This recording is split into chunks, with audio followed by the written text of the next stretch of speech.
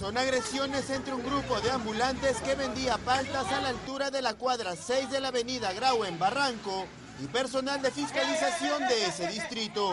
Observen cómo este fiscalizador le da un duro golpe a una mujer que previamente quiso lanzarle una bofetada. La golpea varias veces y es detenido por sus compañeros.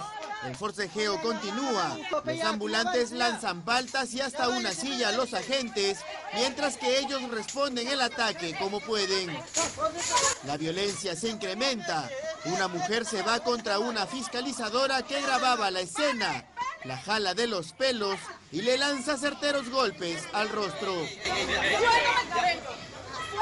Pese a que otra gente intenta separarla, la ambulante continúa con su ataque por casi medio minuto.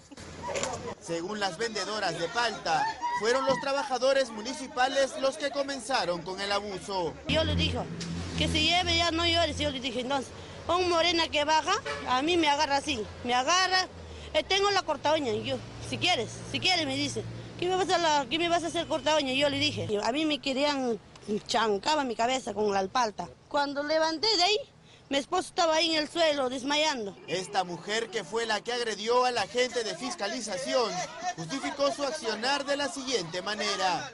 Yo estoy corriendo para arriba, mira. ¿Usted es ella de acá? Sí, sí. Al, llegar... Sí. ¿Usted la agarra de los pelos a la Sí. fiscalización? Yo corría de arriba y yo le alcanzaba. Yo también. ¿Cómo la agarrar así también? ¿La está Pero- jalando de los ¿Para pelos? qué pegan al mi hijo? ¿Para qué pegan a mi hijo? ahí está?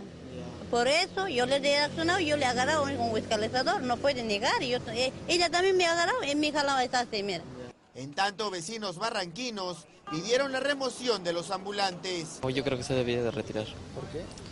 Porque, bueno, la verdad, incomodan a veces cuando estamos este, bien eh, haciendo conversaciones y, y eso. Hace ratito estaba justo llamando y vienen, dice, mira, ¿qué le parece esto, esto? Y. Bueno, incomodan pues. Llamamos a la municipalidad de Barranco y hasta fuimos a la sede municipal para conocer su versión de los hechos. Sin embargo, no nos atendieron.